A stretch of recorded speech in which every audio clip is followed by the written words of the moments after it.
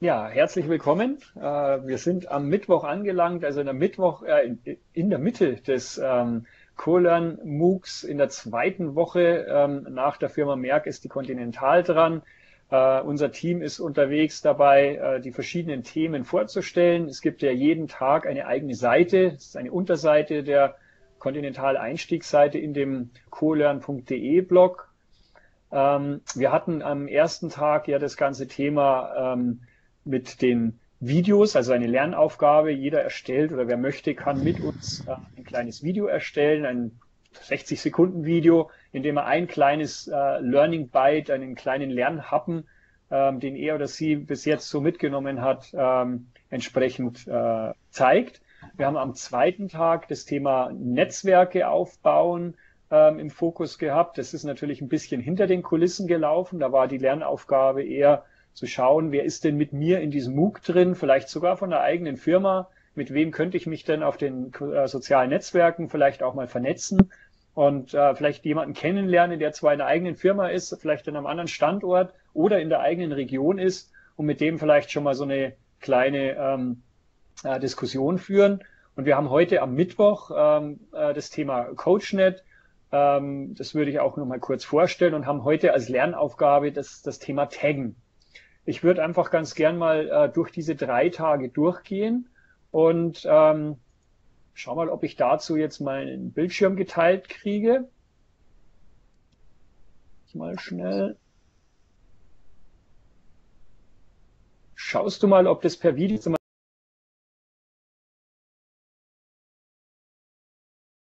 glaube ich, bei der Bildschirmübertragung so ein bisschen ein Problem, dass man ähm, meinen Bildschirm da nicht gesehen hat bei der Übertragung. Ist sichtbar, Harald. Sichtbar? Super, Dankeschön. Also hier äh, nochmal ganz kurz die, die Einstiegsseite von Continental. Ein herzliches Dankeschön an die Janina Kirchhoff von Daimler. Die hat da so eine schöne Titelgrafik gemacht, die wir jetzt auch hier verwenden dürfen. Die habe ich natürlich gleich dann hier eingebaut. Fünf Tage, fünf Themen. Uns ist natürlich jetzt auch aufgefallen, dass ja morgen Feiertag ist und vielleicht der eine oder andere am Freitag Brückentag hat. Vielleicht schaut ihr trotzdem in die sozialen Medien rein, auf die Plattform und äh, macht ein bisschen mit oder ihr genießt natürlich den Vatertag oder den Feiertag. Wir werden auf jeden Fall trotzdem ein bisschen dabei bleiben. Äh, und ansonsten kann man das Ganze ja dann nochmal nachlesen und die Aufgaben sind ja so gedacht, dass man die jederzeit machen kann. Die haben ja kein Verfallsdatum.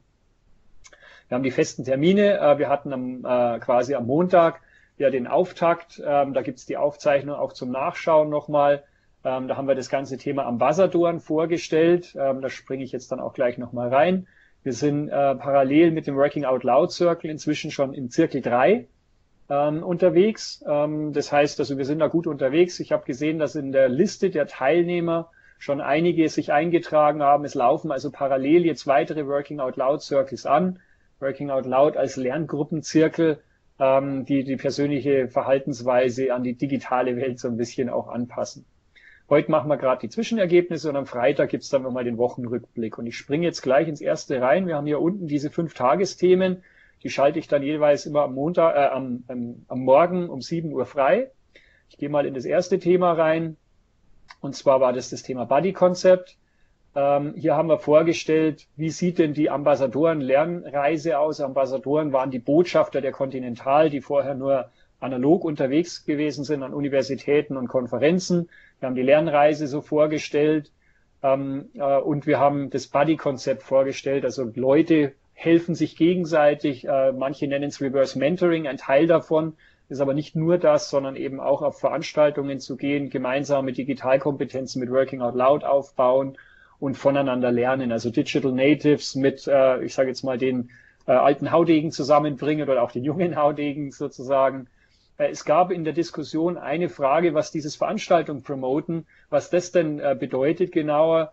Ähm, also da gehen zum Beispiel äh, jemand, der sowieso an die Universität geht und einen Fachvortrag hält, der geht nach wie vor dahin. Also der hat schon seine Netzwerke, der hat schon vielleicht auch Verträge, um irgendwelche Vorträge zu halten und nimmt aber jetzt jemanden mit, der schon eine gewisse Medienreife hat, Medienkompetenz hat, ähm, natürlich in Absprache und freiwillig und der würde dann diesen Vortrag oder diesen, diese, diese, äh, was auch immer da gemacht wird, äh, entweder per Audio aufzeichnen oder per Video aufzeichnen oder auch einen Live-Chat davon. Entweder halt intern in unserem Enterprise Social Network oder auf Twitter ähm, begleiten. Das heißt, dass auch Leute, die nicht vor Ort sind, entweder live das Ganze verfolgen können über eine Verschriftlichung, über ein Protokoll quasi oder eben äh, im Nachhinein innerhalb der Continental das Ganze sich nochmal anschauen können, weil ganz viele von unserer von unseren Ambassadoren sind ja Experten. Es sind spezielle Fachleute für ein Gebiet und äh, arbeiten da mit Universitäten zusammen. Und oft wissen auch die Kollegen, wenn die zwei, drei Büros weiter sind, überhaupt nichts davon, was der, äh, was der macht und was die so tun. Wie berühmt manche Leute da vielleicht auch sind. Äh, das hat also auch ganz viel mit Wertschätzung mal zu tun. Also der eine nimmt auf, der andere macht seinen Vortrag und beide haben was davon, weil der, der aufnimmt und die Technik macht, äh, kommt in Kontakt mit der Uni, lernt, wie das da abläuft, kann auch Netzwerke aufbauen und, und physikalische Kontakte knüpfen. Und umgekehrt, derjenige, der seinen Vortrag hält, hat eigentlich kaum mehr Aufwand, aber äh, es ist jemand da, der ihn äh, promotet, der die Reputation aufbaut, einerseits von der Firma natürlich und andererseits aber auch von den, von den Fachthemen. Also das war eine Frage, die sei hiermit nochmal auch beantwortet. Äh, ein Beispiel noch zu, den, zu der Montagsaufgabe, dem 60-Sekunden-Clip. Ähm, also das Spannende ist, ihr müsst so ein bisschen suchen. Es gibt hier ganz tolle äh, Videosessions drin. Der Simon Dückert hat so ein richtig intensives Lernvideo aufgenommen. Ihr seht auch schon hier drin, er hat sich da selber ins Bild reingemorft. Da gab es dann auch eine Diskussion, wie kann man denn sowas machen. Ähm, es gab hier verschiedene äh, ähm, äh, Videos hier zum Thema Kanban.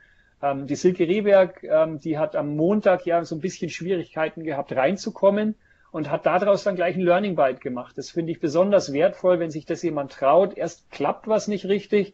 Ah, Mist, hoffentlich merkt es keiner, könnte man einerseits sagen. Nee, der bessere Umgang damit ist einfach zu sagen, hey, schau mal, das hat nicht funktioniert und so kannst du dafür sorgen, dass es bei dir nicht äh, äh, passiert. Und hat dann hier im Endeffekt jetzt so einen kleinen Screencast gemacht, wie man denn dieses Problem ganz schnell lösen kann.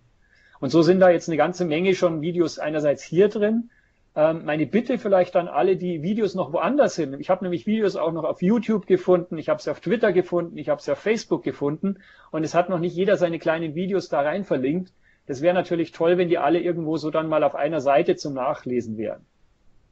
Also das zur Montagsfrage. Gibt es zu dem Montagsthema Video äh, irgendwo noch Feedback, irgendwelche Rückfragen, irgendwas, was wir nochmal besprechen sollten? Also ich würde sagen, man kann immer noch Videos machen, jederzeit gerne. Vielleicht machen wir dann am Ende des MOOCs oder vielleicht greifen auch andere Firmen das auf und wir machen am Ende des MOOCs dann mal wirklich so eine Art Videosammlung an Best-ofs oder so. Gibt es zu dem Videothema irgendwelche Fragen? Oder Anmerkungen, Wünsche, Hoffnungen?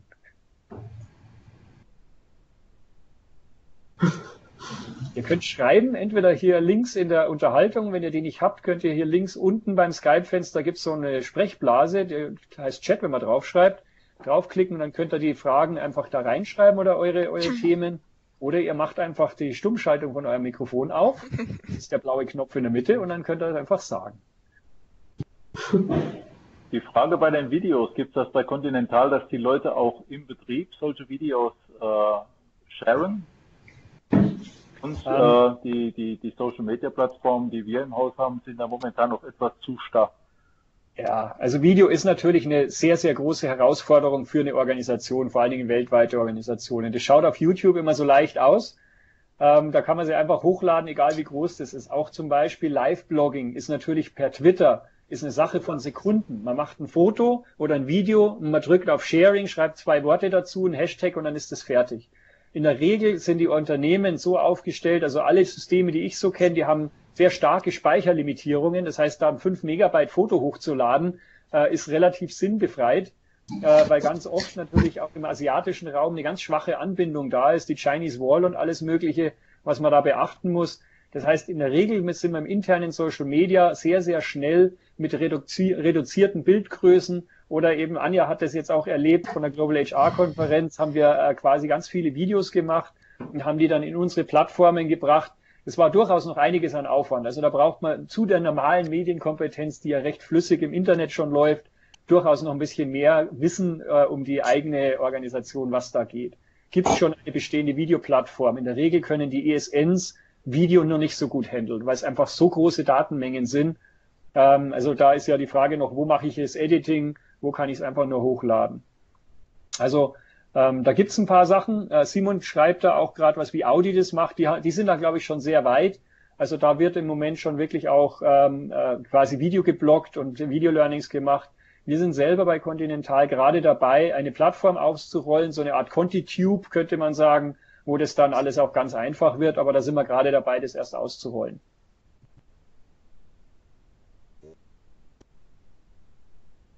Ähm, ich sehe von Chris die Frage, wie finden die Videos intern bei Conti die richtige Zielgruppe? Ähm, bei Continental gibt es im Moment, würde ich sagen, zwei Arten an diese, oder es gibt viele Arten hinzukommen, aber zwei, die äh, hauptsächlich verwendet werden. Das eine sind im Endeffekt so Broadcast-Videos.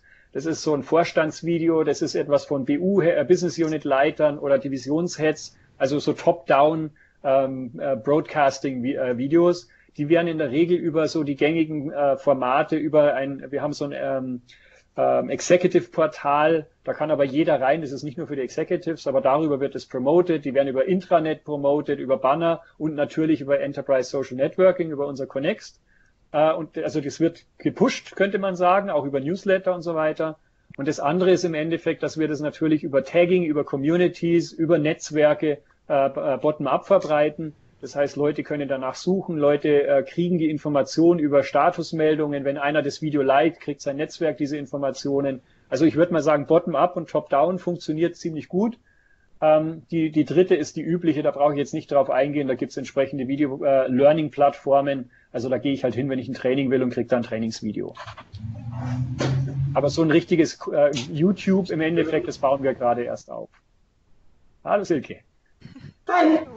Grüß dich. Bin ich zu hören? Du bist ja. auch perfekt zu hören. Du hast dein eigenes Learning Byte auch angeschaut. Sehr gut.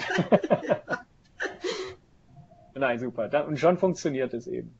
Weiß ich, Anja, gab es jetzt noch andere Fragen? Sind jetzt doch ein paar gekommen? Mm, die eine hast du schon beantwortet, eben ähm, ja, wie das Thema Video bei Conti eben behandelt wird, ob das genutzt wird zum Beispiel bei uns im äh, Social Network. Genau. Ähm, vielleicht nur ein Tipp, der, der Simon ist ja auch da, ich habe ihn schon bloggen gesehen, der hat bei sich in sein, äh, bei der Cognion so eine Wiki aufgebaut, wo er auch so für Podcasten und für all diese Themen auch mal Vorschläge macht, welche Hardware, welche Geräte und aber auch welche Software man verwenden kann. Also für Podcasten weiß ich es genau, dass er es drin hat. Aber ich glaube, du hast da auch was mit, mit Video oder äh, eben anderen Medienkanälen. Also das, ähm, genau, hat er schon gepostet im Media Lab. Das wäre so ein Anhaltspunkt. Vielleicht können wir das auch irgendwo hier drin mal aufbereiten, dass jemand vielleicht mal eine Liste zusammenstellt. Womit macht man denn am besten schnelle Bildbearbeitung? Ähm, also ich selber nutze da zum Beispiel auf dem, auf dem Handy immer diese äh, eine App, die nennt sich äh, Snapseed. Ähm, das ist eine ganz, ganz nette Geschichte. Ähm, da kann ich äh, ganz schnell Bilder mit ganz wenigen Klicks oder sowas deutlich verbessern. Okay. Und ja? Was nutzt du für Videos dann auf deinem Handy? Ähm, ich ich habe echt mit mir gerungen, weil ich habe ja jetzt in dem MOOC schon so viele Videos hochgeladen. Also ich war jetzt mit mir am, am Ringen, ob ich jetzt da selber auch noch gleich ein Learning Byte mit reinschmeiße. Eigentlich will ich schon machen. Ähm, ich nutze normalerweise im Moment ähm, äh, die YouTube-Videos, also die Plattform von YouTube und zum Aufnehmen nutze ich wirklich die, ähm, das, das, die Videokamera vom iPhone. Ähm, ich habe für manche Filme oder sowas habe ich mir eine App geladen, die heißt äh, wie, äh, Wintango. Damit kann man so ein bisschen so äh, ähm, Old Style oder, oder solche Sachen einfach so Filter drüber legen. Das ist cool. manchmal vielleicht ganz praktisch. Aber für ja. den Firmenkontext wäre das, glaube ich, nicht so das Ideale. Ansonsten nutze ich halt professionell äh, als Software, wenn ich, wenn ich richtig größere Videos schneide, ähm, im, äh, im Rechner die, die äh, ja, Final Cut Pro zum Beispiel. Oder innerhalb vom Unternehmen nutzen wir in der Regel Camtasia. Ähm, damit kann ich auch super äh, Screen-Videos aufnehmen. Also Camtasia mit C geschrieben ich schreibe es mal rein, Camtasia. Das ist in meinen Augen die wirklich am leichtesten zu lernen und zu bedienende ähm, Video-Editing-Plattform, die ich überhaupt kenne. Vielleicht kann irgendjemand den Link schnell holen und, und reinmachen. Ist auch relativ günstig. Oder darf man jetzt hier keine Werbung machen? Gibt ja auch andere. Gut, zu Video. Dann würde ich einfach weitergehen. Es gibt hier noch eine Frage. Ja? Und zwar, ähm, Genau, da hat jemand geäußert, dass er bei Kunden Bedenken hat ähm, mit der Video-IP, wenn die dort enthalten ist und eben das Vorgeben von SAEQ-Vorgaben, dass die verletzt werden. Und ob wir da irgendeine Idee haben oder ja diese Bedenken zerstreuen könnten. schau grad mal, Matthias, Matthias Wien. Magst du da vielleicht was dazu sagen vielleicht?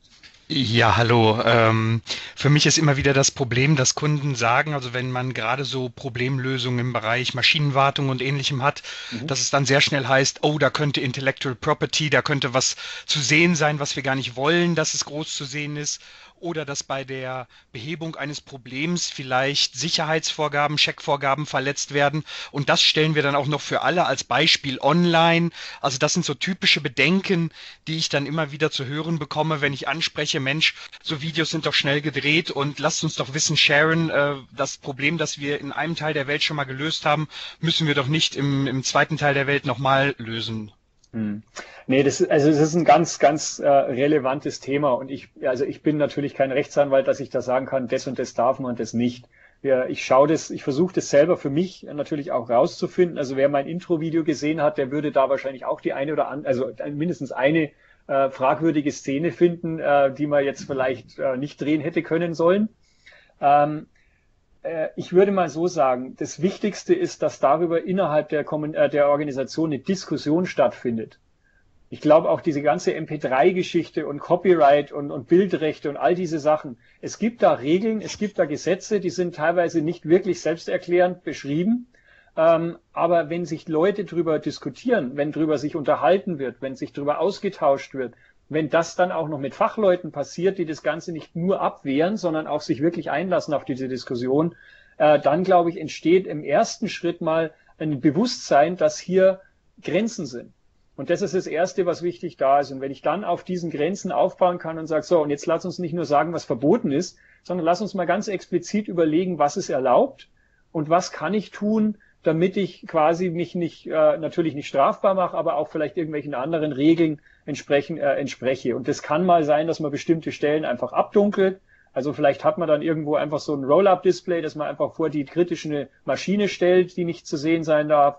Ähm, das mag sein, dass man in einen speziellen Raum geht, um das darzustellen, dass eben nicht kein Hintergrund da ist. Also da gibt es schon Möglichkeiten.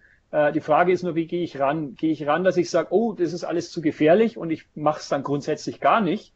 Oder ich gehe her und sage, lass uns mal ähm, überlegen, was ist denn wirklich kritisch, lass uns das ganz klar formulieren und dann lass uns mal schauen, was passiert und mit den Dingen dann lernen und umgehen. Also dann die linke und rechte Leitplanke, sage ich jetzt mal, festlegen. Ja. Das ist natürlich ein schwieriges Vorgehen, wenn es um rechtliche Sachen geht, aber man kann, man muss ja nicht immer gleich mit den Patentsachen anfangen.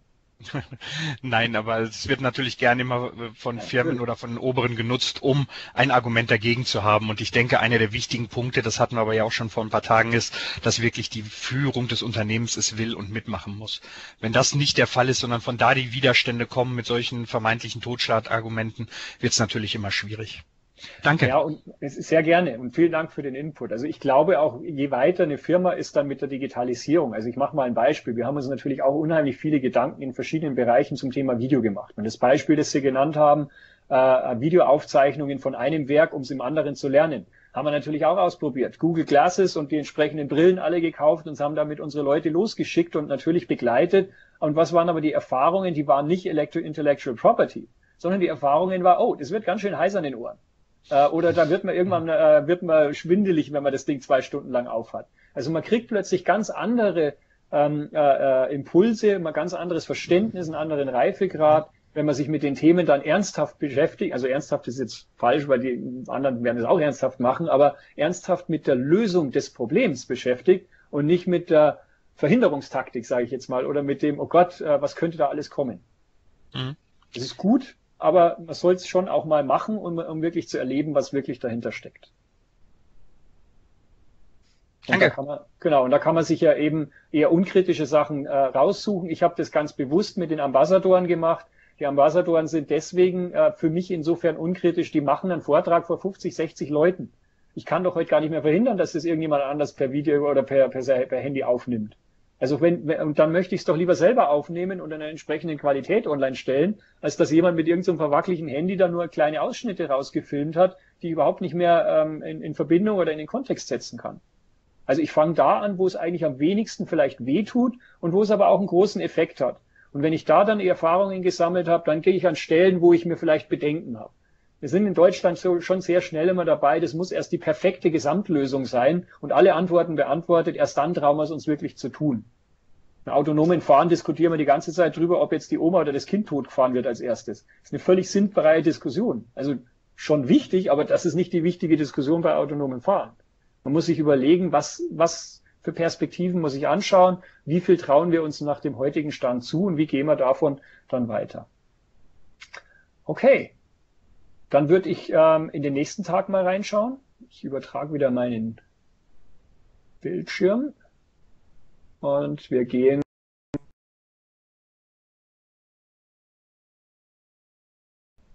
Mein Thema Vernetzung habe ich als, als Input im Endeffekt gegeben, das Guide-Konzept, das kann man hier nochmal nachlesen.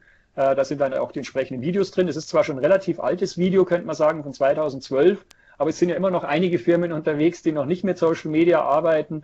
Ähm, und ich glaube, damals ist in dem Video auch die Botschaft relativ gut rübergekommen. Was bedeutet es denn, in diese wirklich neue digitale Welt einzusteigen? Äh, und nachdem das Guide-Konzept wirklich von vielen Firmen inzwischen auch genutzt und kopiert und weiterentwickelt wird, da fand ich das als eine ganz, einen ganz guten Ansatz. Das Thema Guides im, im, äh, im, im, äh, im Kontext des Lernens haben wir ja ein bisschen schon kennengelernt am ersten Tag über dieses kleine Video erstellen, also kleine Lernaufgaben. Genau so habe ich im Endeffekt damals auch die Ausbildung der Guides definiert. Die hatten äh, quasi jede Woche eine andere Lernaufgabe, die dann immer verschiedene ähm, Aspekte beinhaltet hat. Also einerseits selber etwas zu lernen, aber mit der Aufgabe auch einen Mehrwert für sich und andere zu schaffen, vor allen Dingen auch für andere, gleichzeitig in der Aufgabe, sich mit Leuten zu vernetzen und auszutauschen. Und dann gab es immer noch so eine kleine Bonusaufgabe, um das, dem Ganzen noch einen gewissen Anreiz zu geben. Äh, hier sind dann noch entsprechende Podcasts drin. Da ist also, kann man wirklich so die ganze Story dahinter und alles Mögliche dann nochmal nachhören, wenn man das möchte. Äh, und eins habe ich noch, das ist vor kurzem noch reingekommen, weil immer Leute danach gefragt haben, ja, wer sind denn solche Guides? Welche, welche Persönlichkeitsprofile haben denn die? Wo finde ich denn die? Und wir haben die damals versucht, auf drei Arten zu finden, nämlich einmal top-down.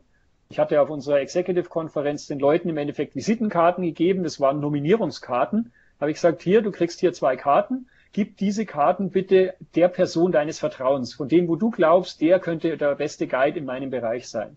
Wir haben Leute direkt angesprochen und wir haben Leute bottom-up über eine äh, quasi eine Bewerbung. Da konnte sich jeder bewerben. Da bin ich zu unserem Vorstand gegangen und habe gesagt, wir wollen Mail rausschreiben an alle damals 90.000 Leute.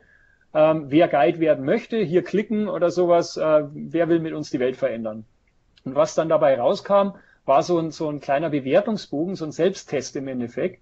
Ähm, und in der Regel, ähm, wenn man so diesen Test durchgegangen ist, das, da ging es nicht um eine Prüfung zu bestehen, sondern es ging darum, sich klar zu werden, was bin ich denn für ein Typ? Bin ich jemand, der eigentlich ganz früh in Dinge einsteigt, so ein Early Adopter? Bin ich jemand, der eigentlich erst eine gewisse Sicherheit braucht? Bin ich jemand, der sehr qualitätsorientiert und dafür aber entsprechend ähm, langsamer irgendwo ist? Jetzt nicht negativ, sondern einfach, das kommt mit her. Oder bin ich jemand, der ganz schnell ist, unterwe äh, unterwegs ist und äh, ganz gern auch Geschwindigkeit brauche und so weiter und damit aber dann vielleicht auch mal so ein bisschen mehr Energie reinstecke, als es vielleicht notwendig ist. So, und das war, äh, das war das Spannende bei diesem Bewertungsbogen, dass das wirklich so eine Art Screening gemacht hat. Bei, da haben sich fast nur Charaktere bewor beworben, die eine große intrinsische Motivation hatten. Also jemand, der das einfach nur mal machen sollte, der hat das Ding gar nicht abgeschickt. Äh, und das Spannende ist, dass diese Einführung war ja 2011 bis 2013 und jetzt haben wir 2017. Seit vier Jahren gibt es eigentlich fast keine offiziellen Aktionen, kein Budget, gar nichts mehr. Und wir haben immer noch über 150 von diesen Guides aktiv unterwegs. Also das ist eine wahnsinnig nachhaltige Geschichte gewesen, wenn man die richtigen Leute dafür findet und die dann entsprechend mit, wie gesagt, diesen Lernaufgaben, diese Vernetzung, diese, äh, diese Kulturentwicklung, die da parallel gelaufen ist, wenn man das als so einen ganzheitlichen Ansatz eben sieht. Ähm, ich habe hier im Endeffekt ähm, dann gesagt, als Dienstagsaufgabe wäre es doch mal ganz gut und es war auch bei den Guides eine Aufgabe. Dort hatte ich das dann über Kontinentsgrenzen hinweg gemacht. Also lernt mal jemanden, sucht euch mal fünf Kontakte in mindestens vier Kontinenten, weil mir da die Globalisierung natürlich auch sehr wichtig war. Ähm, hier habe ich es jetzt ein bisschen vereinfacht und gesagt, geht doch mal auf Xing oder LinkedIn und sucht euch mal fünf andere Menschen, die vielleicht eine ähnliche Jobbeschreibung haben, haben wie ihr selber und tauscht euch mit denen aus in irgendeiner Form. Und dann kam noch, das wusste ich vorher nicht, wie ich da rankomme. Hier gibt's die Liste aller Teilnehmenden äh, in dem äh, äh MOOC. Ähm, und hier kann man die anschauen und dann kann man eben auch mal filtern. Die kann man sich auch äh, entsprechend entweder in Excel holen oder direkt in Google äh, bearbeiten und filtern und kann mal schauen, wer denn von meiner Firma noch alles da ist aus meiner Region oder sowas. Und sich dann mit den Leuten vielleicht zusammentun. Genau. Bonusaufgabe war hier dann wirklich nochmal vielleicht wirklich dann mit Likes oder mit Wertschätzung, also zum Beispiel Kompetenzen bestätigen oder jemandem eine Recommendation auf LinkedIn zum Beispiel zu schreiben, wirklich so in dem Working Out Loud Gedanken mal nicht nur ähm, Hallo, da bin ich, sondern hey, schön, dass du da bist, schau mal, das ist das, was du machst, das interessiert mich, das gefällt mir. Oder danke, dass du das und das geteilt hast mal. Oder hier mal was drüber geschrieben hast. Und diese Wertschätzung auch zu zeigen. Ähm, darauf gab es dann entsprechend dann noch diesen, diesen kleinen Post, den ich vor einer Zeit lang mal geschrieben habe, über die, die Unterschiedlichkeit von Feedback. Also angefangen von gar kein Feedback, über Likes, über einen Kommentar, wo ich nur sage Danke oder Danke, das und das hat mir besonders geholfen oder wie gesagt dann bis hin zu einem, ich schreibe einen erweiterten Kommentar dazu oder vielleicht sogar einen eigenen Blogpost. Gab es auch ganz spannende Diskussionen dazu. Ähm, ich ich habe nicht so ganz richtig mitgekriegt, wie viele Leute sich daraufhin jetzt vernetzt haben, aber es muss ja nicht immer für den, der die Aufgabe stellt, einen Wert erstellen. Also ich, ich nehme mal an, dass es die, die es gemacht haben, für die war es auf jeden Fall erfolgreich. Gibt es da vielleicht von jemandem von euch Rückmeldungen, wo ihr sagt, okay, da habe ich Erfahrungen gemacht oder da gibt es noch Fragen dazu?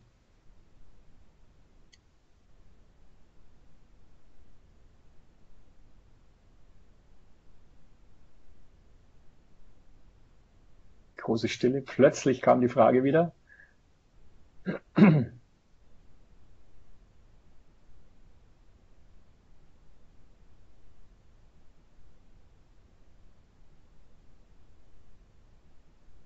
Mhm. Also ich schaue gerade mal so durch die Punkte durch. Es ist recht still, aber die, die Leitung steht noch, nehme ich an, oder?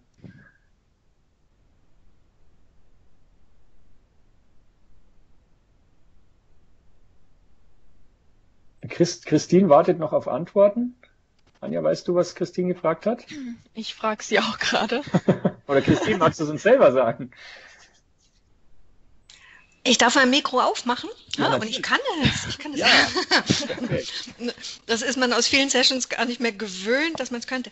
Äh, nein, ich warte noch auf Antworten auf meine äh, Netzwerkanfragen. Ich habe gestern ein paar Leute angetriggert über Xing aber bis jetzt noch kein Echo bekommen. Mal schauen, vielleicht wird's ja. Ja, dann müssen wir die mal, müssen wir die mal vielleicht noch mal ein bisschen auf, einer, auf einem anderen Kanal anträgern. Also das ist auch etwas, ähm, was wir viel diskutieren. Äh, wie oft muss ich denn in Xing und LinkedIn reinschauen? Und da stellt sich eigentlich relativ schnell raus, dass die Leute, die das Ganze mit Mobilgeräten machen, die sind in der normalerweise sehr, sehr schnell da unterwegs, weil die kriegen halt auf ihrem Display auf der Startseite schon angezeigt, übrigens, du hast hier drei Aktionen, drei neue Dinge sind gekommen und es ist mit zwei, drei Klicks habe ich dann jemanden bestätigt oder mal eine schnelle, nette Antwort geschrieben. Während wenn Leute das Ganze nur in der Firma betreiben, ähm, das heißt, das schränkt sich dann schon mal ein, wirklich nur auf die acht, keine Ahnung, neun, zehn Stunden, die sie in der Firma sind. Plus, äh, sie müssen ja die Webseite aufmachen, auf der das drauf ist, wenn sie nicht irgendeinen E-Mail-Reminder gekriegt haben. Also das ist ein Riesenunterschied, ob man Social Media im Allgemeinen oder diese ganzen Apps quasi mobil be betreibt mit einem Tablet oder mit einem Handy oder ob man sie wirklich nur am Rechner betreibt. In der Regel sind, kann man relativ schnell rausfinden, wenn jemand quasi sehr lange Antwortzeiten hat, dann wird er wahrscheinlich nicht mobil diese Sachen nutzen.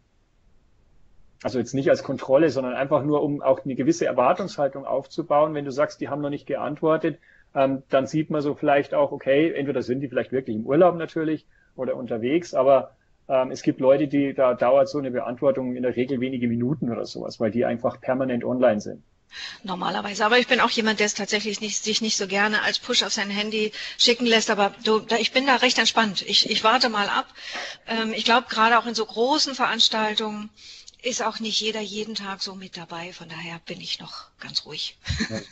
Nee, ich glaube, das sollte auch nicht die Erwartungshaltung sein. Also wir sollen jetzt den Druck, würde ich jetzt auch nicht so groß machen, dass jeder immer überall äh, präsent sein soll. Es gibt natürlich eine Gruppe von Leuten, die sind ständig online. Das ist aber jetzt nicht unbedingt ein Qualitätsmerkmal.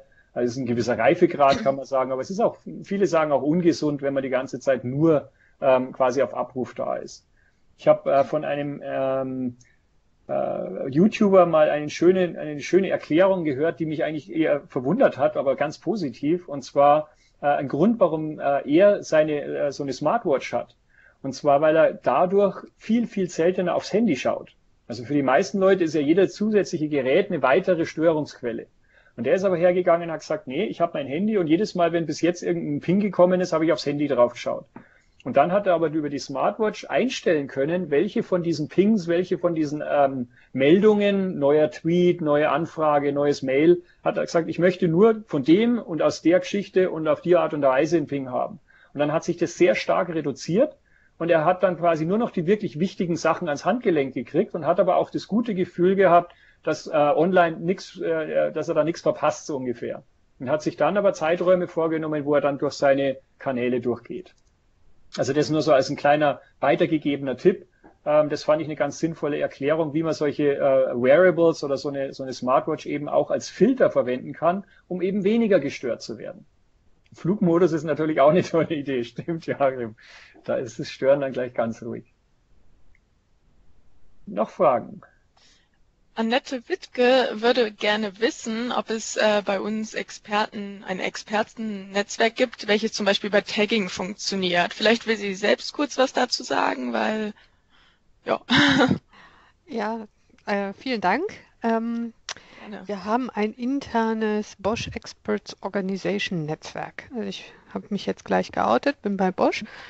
Und äh, ja, die haben so mehr oder weniger sind das so aus dem Engineering-Experten, die sind also mehr so mehr inwendig und äh, die mögen, also unsere interne Plattform wird von denen zwar genutzt, aber dass sie sich jetzt so outen, indem sie sich viele Tags geben oder so, das ist noch nicht so der Fall.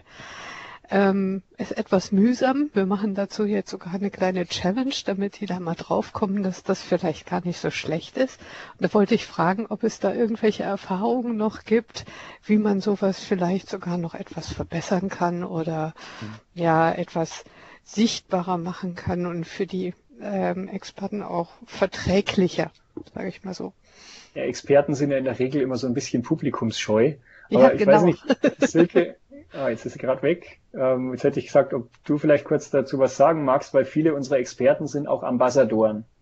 Ähm, und für die haben wir ja, damit es für die eben einfacher wird, so ein Tagging-Tool entwickelt. Also es klingt jetzt nach einer großen Plattform, ist es aber nicht. Es ist eine, einfach eine sehr, sehr einfache Art und Weise, dieses Tagging zu äh, anders zu betreiben und vor allen Dingen die Schwachstellen, die Tagging ja hat, so ein bisschen äh, ja zu, zu relativieren. Im Endeffekt ist das Tagging-Tool ähm, eine, eine Aufklappliste, könnte man sagen, wo sich diese Ambassadoren oder auch Experten, wie gesagt, das ist bei uns eine, eine Gruppe, die sich sehr gut überschneidet, mhm. ähm, die gehen durch diese Liste durch und können über diese Liste, die klicken einfach nur an, was auf sie zutrifft. Und zwar Experte für das und das Thema, da gibt's unsere strategischen Themen, da können wir das anklicken. Aber da sind auch Sachen drin, zum Beispiel, ich möchte ganz gerne auf eine Konferenz oder ich möchte ganz gerne mal als Speaker irgendwo sein oder ich möchte Teilnehmer bei irgendetwas sein, mhm. dann ordnen sie sich auch den Regionalgruppen auf die Art und Weise zu. Das heißt, wir verwenden das Tagging, um ganz viele verschiedene Dinge zu filtern, was man normalerweise über eine Datenbank machen würde. Ja. Und das wählen die alles auf. Die ordnen sich bestimmten Qualifikationen zu, die ordnen sich bestimmten Dingen zu, die sie erleben wollen oder die sie weiterbringen mhm. wollen. Und am Schluss äh, kopieren sie das ganze Ding einfach in ihr Profil. Ihr habt ja auch Connections bei Bosch ja. als Plattform, also die gleiche wie wir. Äh, das wird dann einfach ins Profil übertragen und dann haben die quasi so eine, eine größere Tagging-Liste, die sie auch immer wieder aktualisieren können, in ihrem Profil drinstehen und haben aber selber was davon. Also es ist nicht nur, ich werde sichtbar, jeder kann mich jetzt anrufen und ich habe gar keine Zeit dafür. Das ist ja die große mhm. Angst bei vielen Experten, sondern ja. äh, umgekehrt, wenn ich nicht getaggt bin als Ambassador, als äh, Region Süd oder als äh, ich will auf eine Konferenz gehen, dann haben wir denen auch ganz klar gesagt, dann wirst du auch nicht mehr angesprochen. Ähm, oh und, die, und das ist so eine zweiseitige Geschichte. Das eine ist das Tagging-Tool, wo sich die Leute taggen können. Das kann natürlich jeder andere auch verwenden. Ähm, und das zweite ist natürlich, dass wir, und das bietet ja Connect äh, oder Connections jetzt erstmal nicht, dass wenn ich daraufhin dann einen Tagging als Filter verwende, dann kriege ich ja so eine Ergebnisliste, eine mhm. Personenliste. Und wir haben uns so ein kleines äh, quasi Excel-Makro gebaut, das dann aus diesen, äh, ich sage jetzt mal wilden HTML, JavaScript-Listen ähm, eine Mailingliste macht, die ich dann wieder verwenden kann. Und den nutzen unsere HR-Leute natürlich oder andere, die dann mhm. sagen, so, jetzt zeig mir mal alle Ambassadoren, die in Deutschland, in Regensburg zum Thema autonomes Fahren arbeiten und kann die dann ganz spezifisch ansprechen. Oder zeig mir mal die, die sich zum Thema XY interessieren oder auf eine Konferenz gehen wollen. Okay. Also das ist jetzt nicht direkt mit, ähm, mit IBM Connections ver verlinkt. Doch, das, also das Doch. meiste läuft alles in Connections. Wie gesagt, dieses, dieses Tagging-Tool, ähm, mhm. das ist im Endeffekt, haben wir eine SharePoint-Applikation gebaut. Ähm, und das andere ist ein, Excel-Makro. Also ihr habt, ich mhm. weiß, dass ihr selber ja auch da so eine, so eine User-Gruppe habt oder sowas. Mhm. Also das könnt ihr bestimmt auch. Ihr macht das ist jetzt kein die API da. Ganz genau. Ja, und nicht mal API, also diese Listen, Ach, da kann man im Endeffekt okay. einfach Copy-Paste und das Ganze ins Excel reinpasten, dann drückt man einen kleinen Makro-Knopf und dann steht am Ende eine Liste. Also es ist ganz, ganz simpel im Endeffekt. Okay. Das ist auch was, was große Organisationen, die versuchen immer große Lösungen mhm. zu finden.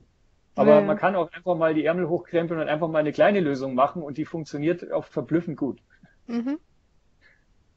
Ja. Also, sind, danke. Gerne. Da sind wir eigentlich schon fast in dem Thema Tagging drin. Von daher würde ich, wenn es, weiß nicht, Anja, gibt es noch andere Fragen gewesen? Sind mhm. noch andere Fragen da gewesen? Ja, gibt es im Zusammenhang mit dem äh, Finden und Taggen schon Entwicklungen in Richtung Cognitive Computing bei Conti oder anderen? Von Volkmar. Von Volkmar, ja, das ist, da wird es natürlich jetzt richtig schön und spannend. Ähm, ja, es wird da an verschiedenen Stellen schon an Lösungen gebaut. Ich sage da nur das Thema ähm, Curious Bot, ähm, das Thema, also wie kleine Bots, ähm, das sind so kleine Programme, die quasi äh, basierend auf Artificial Intelligence dann hergehen und ähm, äh, ich sage jetzt mal, automatisiert parallel Lösungen anbieten wollen. Also wo sowas ganz oft im Einsatz ist und wir selber jetzt gerade auch einsetzen wollen, ist im ganzen Support-Umfeld. Das heißt, man kann sich vorstellen, eine Firma führt irgendwo ein neues Tool ein und, und, und 150.000 Leute haben am Tag X das gleiche Problem. Die übliche Herangehensweise war eine Hotline und die ist dann natürlich den ganzen Tag beschäftigt damit, den Leuten die gleiche, Antwort, die gleiche Frage zu beantworten oder zu sagen, wir sind noch nicht so weit. Wenn man das Ganze über Artificial Intelligence löst, dann gibt es entsprechend, also das geht schon sehr, sehr viel weiter, als es die meisten Firmen heute in der Lage sind einzusetzen. Also Sie können heute schon einen, einen, äh, einen Bot kaufen im Endeffekt, der über die Kamera ausliest, wie, wie gerade mein Gemütszustand ist, ob ich jetzt schon ziemlich angefressen bin, dann werde ich halt zu einem Menschen weitergeleitet oder ich bin, ich mache noch einen relativ freundlichen Gesichtseindruck, äh, dann kann man mich auf ein Social Helpdesk schicken oder vielleicht wirklich auf eine FAQ-Liste oder sowas. Also ja, da gibt's schon tolle Möglichkeiten.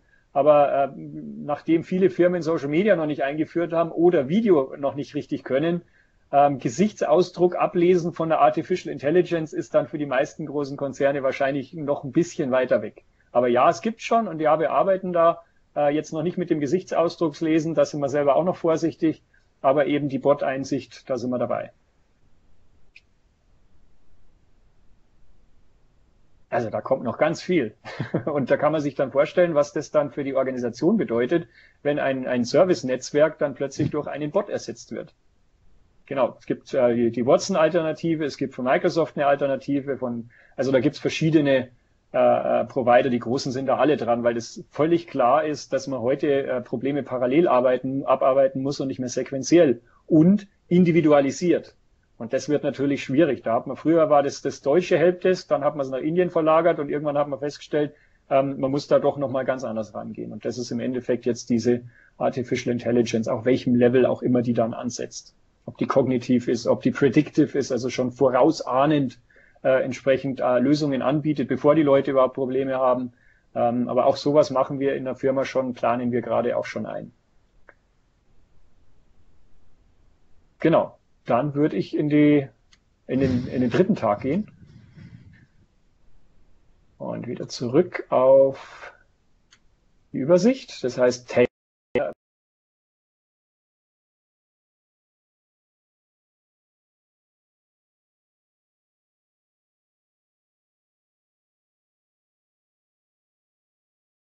was CoachNet ist, ein, eine, eine, ein Zusammenschluss von den Trainern, von den Lehrern, Lernenden in unserer Organisation. Also hier in diesem Kreis sieht man es, wenn man so ein bisschen reinschaut, äh, sieht man es ein bisschen.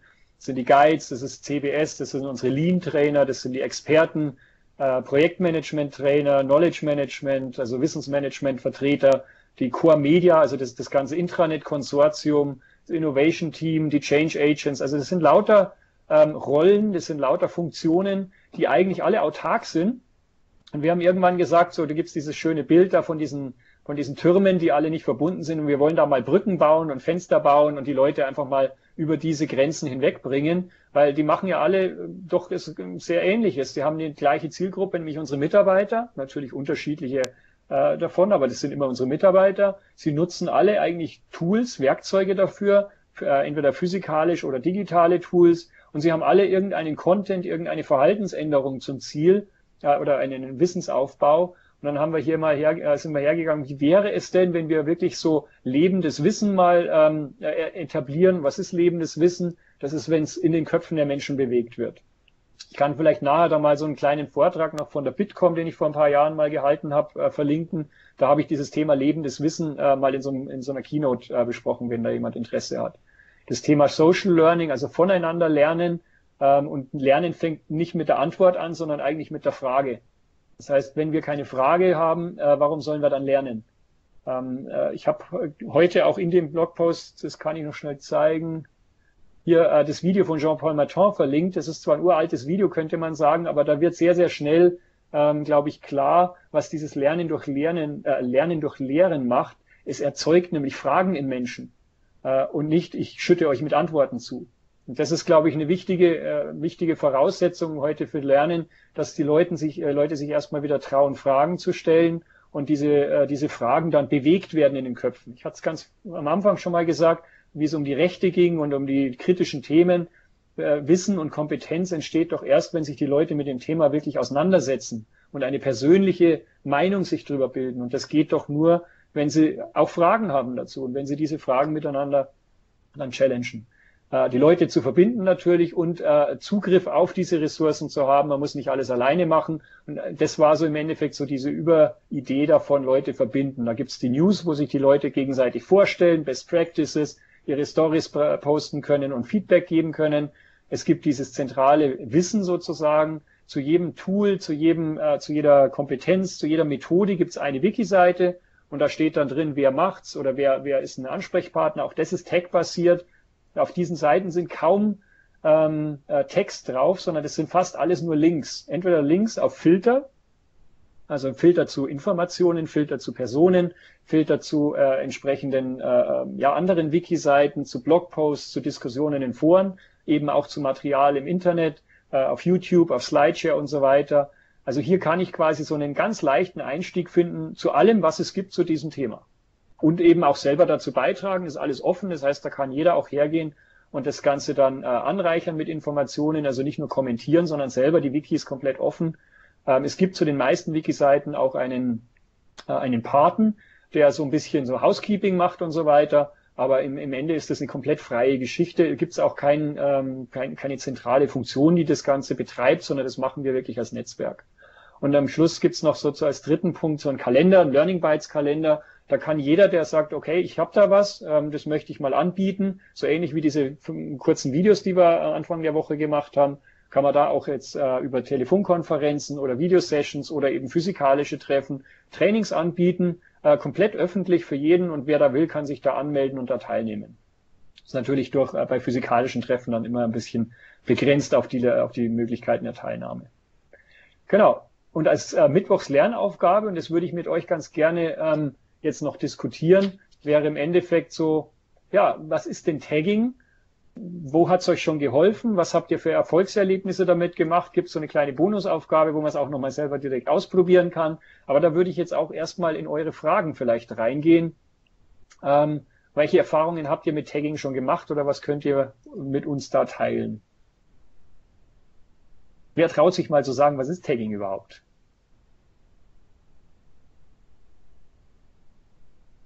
Verschlagworten.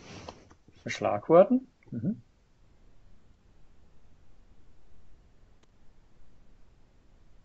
Wir machen mal ein, ja? eine, Such, eine Suchmöglichkeit. Ja, da, da, bin ich immer ein bisschen vorsichtig, weil ich möchte es immer ganz gern unterscheiden. Ähm, Google ist Suchen. Ich ja, habe nichts, ich habe nichts, dann gebe ich was ein und dann kriege ich was. In der Regel kriege ich auch relativ viel. Ähm, Tagging ist eher Filtern. Und Filtern ja. heißt, ich habe vorher ganz viel und dann drücke ich auf einen Knopf und dann habe ich ganz, ganz wenig. Und das, was ich dann habe, ist nur noch relevant.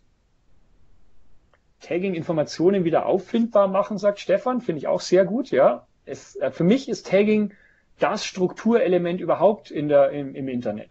Viele sagen ja, dass das Internet und die ganzen Datengräber komplett unstrukturiert ist. Für mich ist Tagging da sehr, sehr hilfreich. Und wie, wie, wie leistungsstark das ist, können ja klein, äh, ein kleines Spiel mal machen. Äh, macht mal den Chat alle auf, dass ihr schnell antworten könnt. Ich versuche mal mit euch ein kleines Spiel, ob ihr dieses, ich, ich stelle mir irgendwas vor. Der gesamte deutsche Wortschatz, egal was es ist, ein Ding, eine Sache, egal was. Und ich gebe euch jetzt einzelne Begriffe, Tags, Schlüsselworte. Und wenn ihr wisst, was ich meine, schreibt das einfach rein. Es ist rot, Farbe rot. Es ist schnell. Wenn ihr reinschaut, ich habe nur zwei Worte gesagt, zwei Tags. Rot und schnell. Okay, war vielleicht zu einfach. Probieren wir es nochmal. Es ist grün. Es ist aus Glas. Es hat einen Korken. Drei Tags. Das kann man, das, also das kann man mit allen möglichen Begriffen natürlich machen. Also äh, ich habe jetzt natürlich allgemeine, danke, also ihr habt natürlich recht, das ist ein Ferrari und eine Weinflasche. Ähm, Tags helfen aus unglaublich vielen Dingen ganz wenige zu machen. Wenn ich 140.000 Mitarbeiter habe und ich sage CEO und Female, dann weiß ich, wer es ist. In unserer Firma zumindest. Ähm, ich, wenn ein Raum mit 1000 Leuten ist und ich sage, äh, hat eine Brille, schwarze Haare, dann ist die Wahrscheinlichkeit, dass von den 1000 Leuten dann wahrscheinlich nur noch 50 übrig bleiben, sehr, sehr hoch. Das heißt, ich kann mit Tags unglaublich schnell relevante Ergebnisse bekommen. Und das ist egal, wie groß die Datenmenge ist. Äh, wenn da 10 Milliarden Videos in YouTube sind und ich sage, ich will ein Video, äh, rote Luftballons, kleines Mädchen, dann kriege ich wahrscheinlich nur noch fünf Videos. Egal, wie viele vorher drin waren. Also Tagging ist dafür unglaublich äh, reich. Jetzt hat Tagging aber natürlich ein paar Probleme. Nämlich erstens, es ist äh, sprachlich, äh, von der Sprache abhängig. Das heißt, Deutsch, Englisch, Französisch, Italienisch, Chinesisch, alle haben eigene Tags für andere Wörter. Wir haben Einzahl und Mehrzahl. Wir haben bei Tagging das Problem, dass wir Wortstämme haben.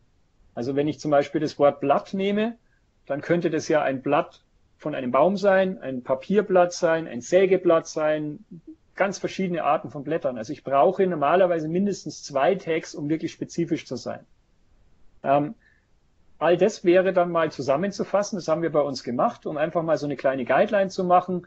Äh, Einzahl, Mehrzahl ist so eine andere Geschichte. Ähm, viele Leute taggen etwas in der Mehrzahl. Ähm, wenn ihr auf Twitter schaut, da wird Tag ganz oft verwendet, immer mit dem Hashtag vorne dran, um es äh, zu identifizieren oder überhaupt zu aktivieren. Ähm, dann gibt's viele Leute, die schreiben im Fließtext Worte dann als Tag. Das Problem ist bloß, dass im Fließtext müsste dieses Tag Mehrzahl sein oder, oder eine, in einer anderen Verwendung sein. Ähm, und dann passt es aber nicht mehr, weil dann funktioniert der Filter nicht mehr, weil die meisten Leute das in der Einzahl verwenden. Also da gibt's ein paar Sachen, die man einfach wissen muss drüber. Ich fände super, wenn man das als, als Kommentare unter dieser Seite einfach mal alles sammeln, weil ich habe sicher nicht alle äh, äh, kritischen Punkte, die da drin sind. Ähm, Tagging hat unheimlich viele Möglichkeiten. Tagging sind, ist im Moment ASCII-Text. Also das ist auch relativ blöd, wenn man zum Beispiel Text nimmt, äh, Text nimmt, um eine Abteilungsbezeichnung zu filtern und die Abteilung ändert sich. Dann habe ich ein richtiges Problem, weil tagge ich jetzt alle neu mit der neuen Abteilungsbezeichnung, nehme ich das alte Tag weg, kommen Leute dazu, gehen welche weg, will ich eine Historie von Tags haben. Also da gibt's ganz viele spannende Ideen, äh, die man da haben kann. Und ich persönlich warte immer noch drauf, eigentlich seit zehn Jahren, dass irgendwie mal auf die Idee kommt, Tagging weiterzuentwickeln. Also das Ganze anzureichern und ähm, semantische Netzwerke dazu bauen und so weiter. Also das jetzt mal so als einen kleinen Impuls für die heutige Aufgabe. Ähm, ich weiß nicht, ob ihr Fragen dazu habt, ob wir darüber noch was ähm, erweitert gemeinsam anschauen können. Wir haben noch eine Frage ähm, zum Tagging von Sebastian Hollmann. Und mhm. zwar ähm, fragt er, welche Erfahrungen ähm, du oder wir mit dem Tagging von hierarchisch höher gestellten Personen gemacht haben? Also gibt es da irgendwelche Vorbehalte? Mhm. Ähm, also ich persönlich und ich bin, glaube, also ich behaupte jetzt mal, dass ich wahrscheinlich einer der aktivsten Tagger im ganzen Unternehmen äh, bin.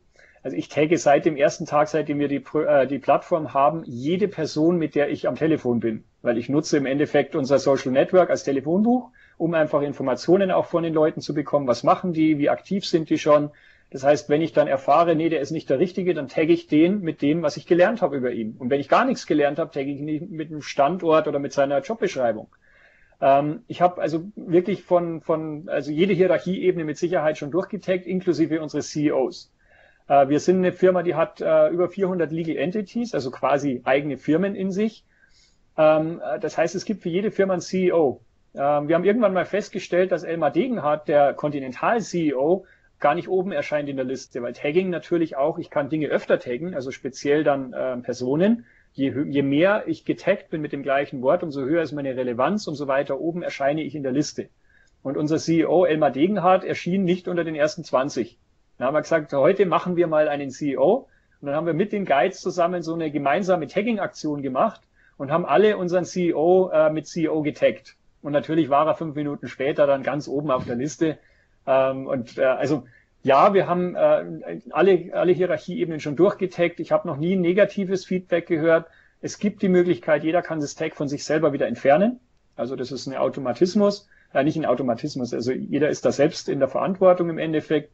Ähm, ich habe bis jetzt über Tagging in der Regel nur positive Ergebnisse gekriegt. Ausnahme ist das, was vorher auch ähm, die, die Annette gesagt hat, dass ja Experten oft jetzt nicht unbedingt sofort sichtbar werden wollen mit ihren Kompetenzen. Also gerade in der Ecke hat man am ehesten noch das Thema, dass wenn man jemanden taggt mit einer speziellen Kompetenz, dass die dann sagen, ah, ich will aber gar nicht so sichtbar werden dafür. Aber dann nehmen sie es halt weg. Also wir machen da gar keinen großen Aufwand drum. Wer nicht will, der hat schon.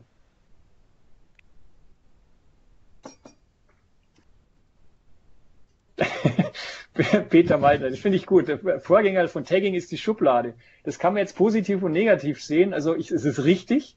Äh, alles, was in diese Schublade reinkört, ist da drin. Mir wäre die Schublade insofern zu wenig, weil äh, Tagging, der Vorteil von Tagging ist ja der, dass ich kann in vielen Schubladen sein.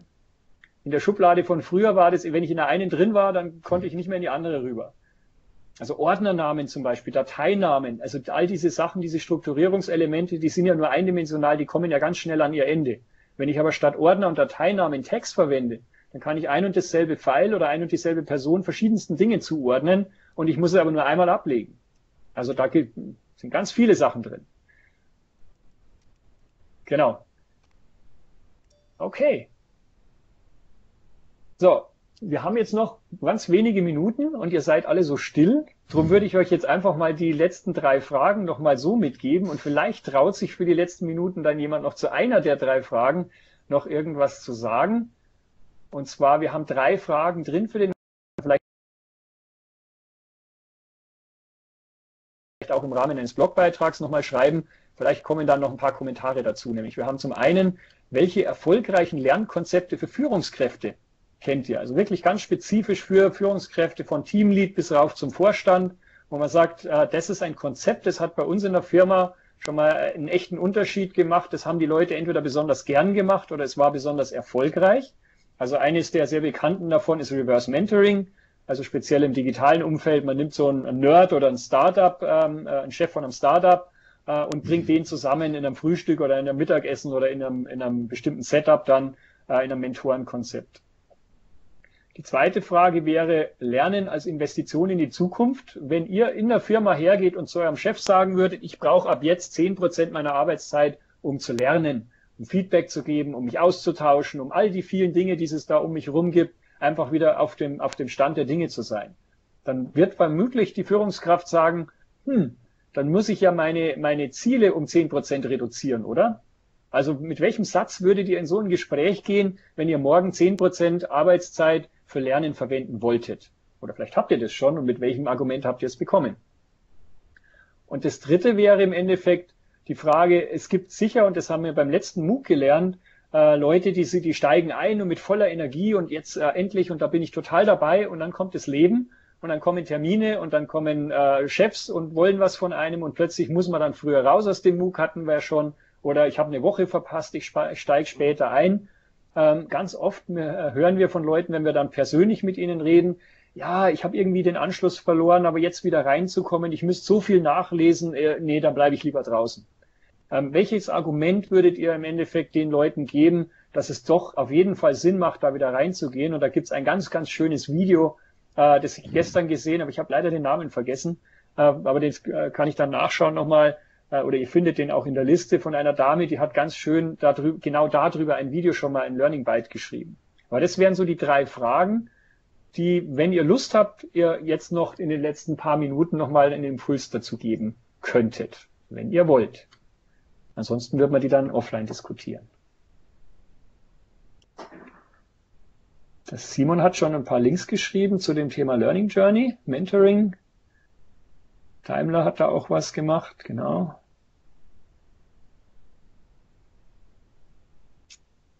Ich habe auch netterweise von einem Kollegen äh, gleich ein, ein, eine Übersicht bekommen, wie äh, Mentor, Mentoring sauber läuft. Vielen Dank nochmal auch dafür. Ähm, also auch, äh, man kriegt da auch ganz viel zurück über den MOOC. Also vielen Dank auch mal nochmal an die ganzen Teilnehmer in der Hinsicht. Wir lernen da selber richtig viel dabei. Danke. Also von bei uns, Bosch, gibt es hier mhm. äh, auch nochmal ganz klar die Richtung, dass wir anfangen, in dieses Working Out Loud Thema auch für Führungskräfte einzusteigen. Also es gibt mhm. erste mhm. positive Rückmeldungen. Mhm. Wahrscheinlich sogar, dass das Working Out Loud möglicherweise eine Nachfolge oder eine, hm, ja, eine Parallelveranstaltung für Reverse Mentoring wird. Mhm. Ähm, wir haben die Erfahrung gemacht, dass das in Teams nicht so gut funktioniert wie mhm. in, in Zweiergespannen. Ähm, aber da sind wir gerade dran. Mhm. Und verbinden dann halt Working Out Loud mit Führungsaspekten im Change. Mhm. Genau. Super. Benedikt sagt, äh, da, äh, danke äh, Annette dafür. Ja, also ich, ich habe das schon auch schon gehört, die Weiterentwicklung der Working Out Loud Circles, das Ganze ein bisschen kompakter zu machen als, als, als Teaser quasi, mhm. äh, scheint da sehr erfolgreich zu sein. Mhm. Ähm, Benedikt sagt 10% lernen, äh, ich frage nicht. Ähm, also ich so als kleiner Revoluzer sage ich da auch äh, Chapeau auf jeden Fall. Also ich muss auch nicht immer um Erlaubnis bitten. Ich glaube nicht, dass mir jemand ankreidet, dass ich mich im Sinne der Firma weiterbilden möchte. Die Frage ist, möchte ich sowas im Unternehmen etablieren als HR-Funktion zum Beispiel? Äh, was, dann brauche ich schon eher irgendwelche ROI und KPI und sonst was für Argumente, leider noch in den meisten Firmen. Ähm, wir haben bei uns in der Abteilung zum Beispiel äh, mal beschlossen, dass wir äh, quasi, ich weiß nicht, wie wir das genannt haben, Ich-Zeit oder sowas, also quasi einmal im Monat einen Tag, äh, den man nur für sich äh, nutzen kann. Also man kann dann entweder auf eine Konferenz gehen, man kann äh, den ganzen Tag mit Lernen verbringen, man kann den Tag auf drei Tage aufteilen. Also äh, so das, das Pensum von einem ganzen Tag pro Monat mal wirklich ganz explizit, keine Termine, keine äh, Störungen, sondern nur das tun, was dem persönlichen Fortkommen dient.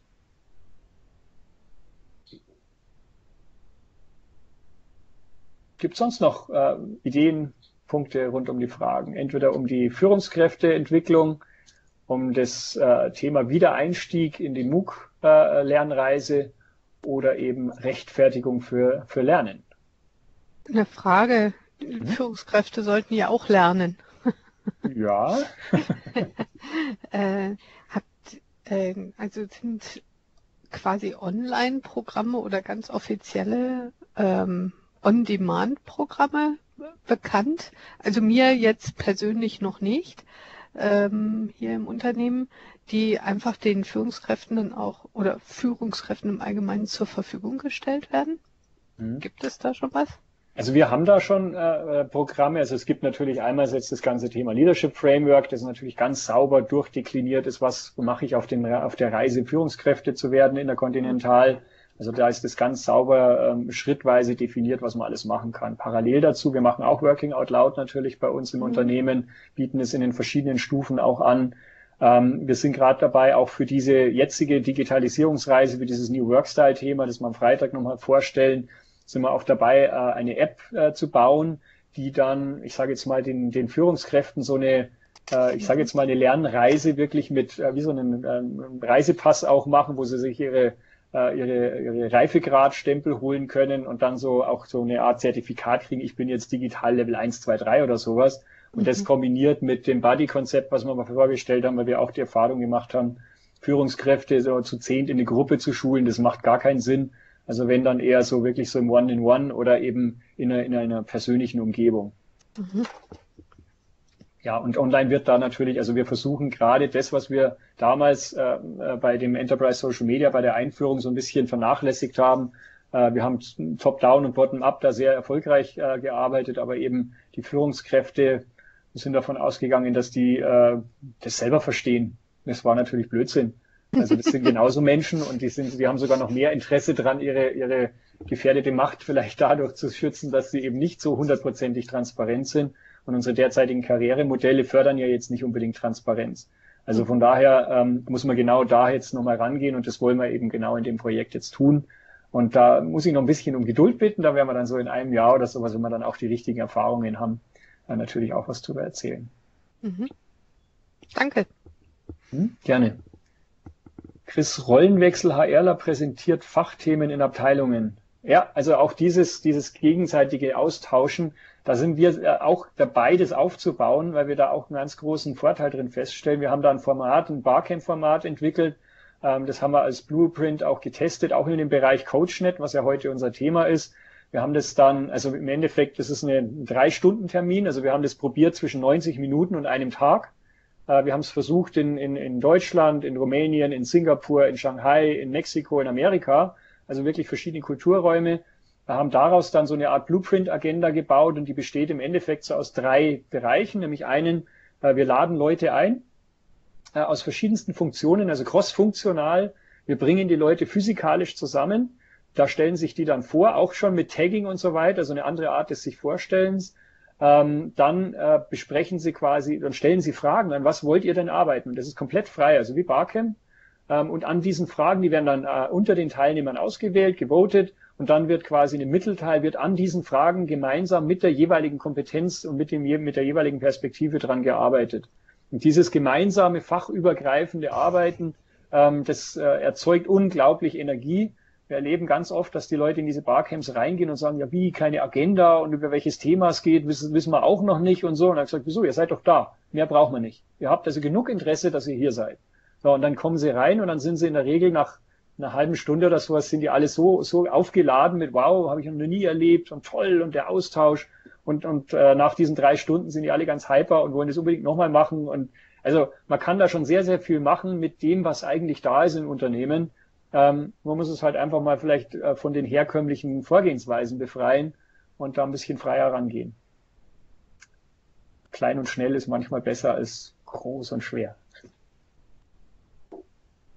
Super. Wir sind, glaube ich, äh, mit der Stunde am Ende dabei. Da, Anja, herzlichen Dank wieder für die tolle Unterstützung. Gerne.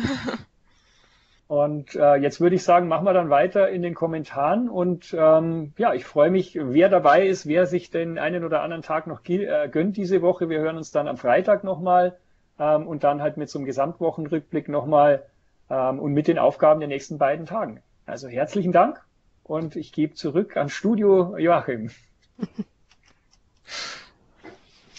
Ja gut, äh, du hast ja den Abspann schon gesagt. Wir sehen uns am Freitag wieder 13 Uhr. Und dazwischen diskutieren wir. Ja? Okay, ciao. Ja, ciao, Freitag. Ciao. Ciao. Ich wollte jetzt nicht deinen Abspann wegnehmen, Joachim. Es tut mir leid. Sorry. Kein Problem, es war dein Tag, deine Stunde. Okay, dann schalte ich die Aufzeichnung jetzt wieder auf, ja? Mhm.